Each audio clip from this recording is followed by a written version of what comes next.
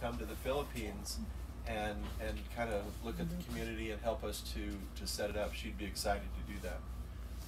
What is the app that you listed from?